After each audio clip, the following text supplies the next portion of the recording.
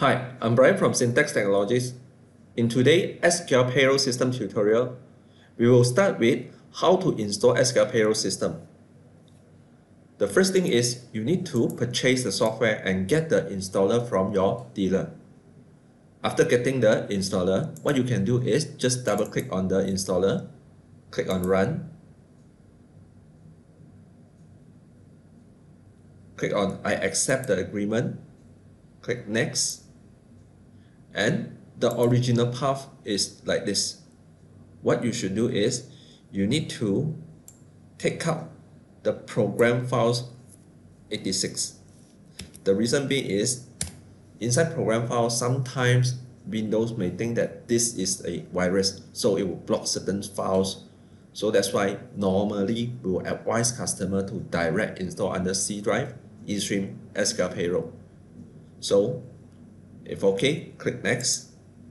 And you can see that all these three folders is at the same directory, but the folder name is different. Bin folder is bin, share folder is share, database folder is DB. But everything is under C eStream SQL Payroll. So this is easier for you to do control. Then click next. The create a desktop icon is already taken click next install so the installation would be very fast. After the installation what you need to do is you create a testing company or we call it sample company. Click finish.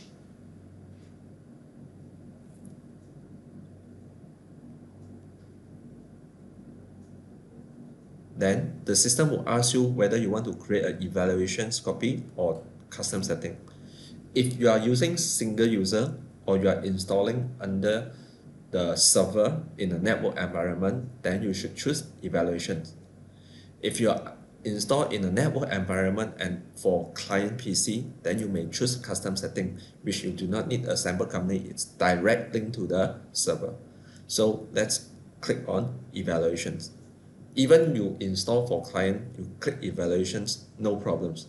It just will create a sample database for first time user. So this is what I mentioned, the testing company with sample data for you to play around and see how all the functions work without affecting your actual data. Testing company. So now this is the shortcut. You double click on the shortcut then this is what we call login screen. Now, one thing is important is you need to know what is your versions. So at login screen, there is a set of number. The last three digit is your version 141. So sometimes when you have facing problems, we always encourage user to upgrade to the latest version.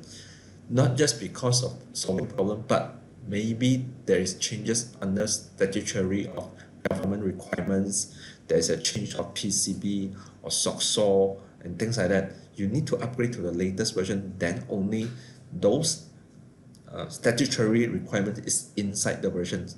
If you're using a very old versions, then those calculations may not be accurate. So remember, always use the latest version. The same things apply to SQL accounting. Now, this is where you can select the company. Now you only have one testing company. First time user, username is admin, password is also admin. So after click on admin, then log in.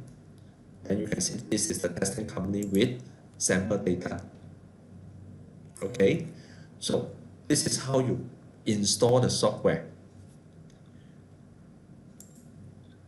If you are interested in SQL Payroll, do contact me and once again, thank you for watching. And I'm Bryan from Syntax Technologies. Thank you.